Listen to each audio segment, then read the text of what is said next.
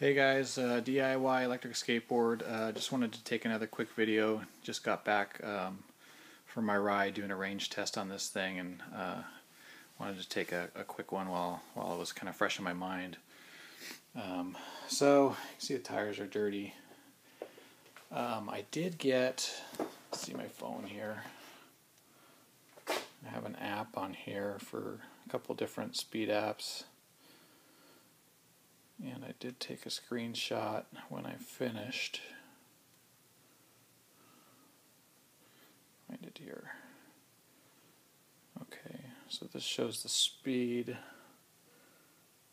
There's the range right there. I got 8.3 miles. And uh, maximum speed was 20 miles an hour. Average speed 13.8 miles an hour. So 8.3 miles and uh, I ended up going out about four miles before turning around and coming back because I didn't want to go too far. And I almost made it back uh, to my house, and uh, the um, low voltage cutoff kicked in, so it was uh, it was a pretty good trip. So 8.3 miles, and my low voltage cutoff on the speed control is set at uh, 3 volts per cell, which um, I don't know. It may be a little bit low.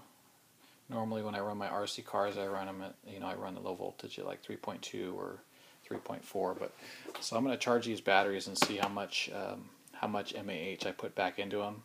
That'll kind of give me an idea if I if I ran them you know a little bit too low or not. So um, we'll see how that works out, and I'll leave comments in the comment section. Um, one thing um, I did notice, and I wanted to mention a couple things about this remote. Um, I really like how it feels. Um, this feels good, but when you're driving it, this is not comfortable. So you end up kind of doing this, which is fine. You know, it's fine, it's small, it works good. Um, the only thing I don't like about it is when you're accelerating, the acceleration feels a little notchy.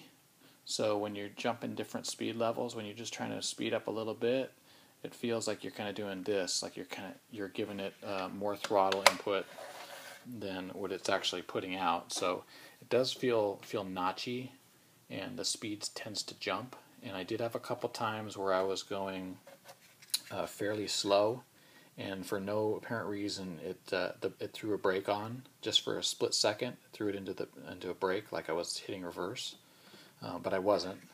So I don't know if that was if I was losing connection maybe or getting a, a weird cross signal. Um, I know that this receiver does not have an antenna, which in itself is not you know terribly unusual because I do have a lot of uh, you know RC car radios that don't have antennas either, and, and they work just fine with no problems at all. So I did notice that, and also when I bound this to the this transmitter to the receiver, um, and it it did bind. This immediately um, wheel started spinning forward, so on its own. So I had to turn this adjustment screw, which is what it's for, to adjust the throttle trim. But I had to adjust it all the way to one end to get the wheels to stop spinning. Um, so then when I blipped the throttle forward, it would come to a stop sometimes and then sometimes it wouldn't come to a complete stop. It would spin really slow forward. So that kind of bugged me. Now I don't know if I could mess with the screw, the uh, you know mess with the adjustments, and then try rebinding it and see if that will correct that. I'm going to play with that a little bit later and see if I can get that issue fixed because it is kind of annoying because sometimes when you let off and you come to a stop and you jump off the board, it starts creeping forward which uh, which is not good. I don't like that. So, anyways, overall it seems fairly good. It was sixty dollars, which to me is, I don't know. It's for an RC car radio, sixty dollars is a moderate amount. I mean, there are cheaper uh, 2.4 gigahertz radios. You know, you can get the FlySky for like 30 bucks. But um, you know, there's just not anything available in this size I know uh, Torqueboards makes a remote that is similar to this. It's not this small, and it does have the steering wheel, uh, but I don't know if it works better or not. So anyways, kind of not really sure on this how it's going to work out. I'll try to post some more information later, um, see if I can get it rebound and see if it works any better. All right, thanks for watching, guys.